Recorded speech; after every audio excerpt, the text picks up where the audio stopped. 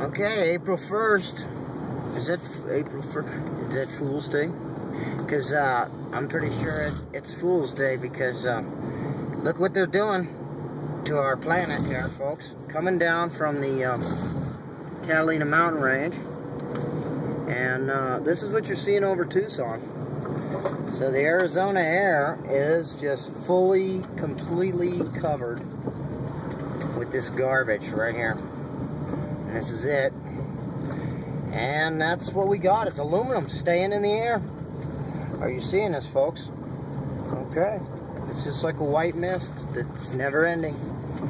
It's, uh, it's pretty scary. Just a cloud mist in the air. That's it. The death of us, you might want to look up. Wow, bro. We got that on film. he wasn't even looking. He don't care. Just run me down. Well, shit, look what we're breathing in. All right, Real News Tucson.